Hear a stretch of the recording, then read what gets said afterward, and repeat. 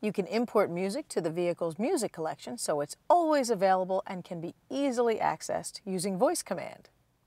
To import music tracks from a CD, insert the CD, and then, if needed, select it as a media source in the Media Radio menu. Next, shift the controller to the left and select Save CD. All tracks will be imported, and the percentage bar will indicate the progress.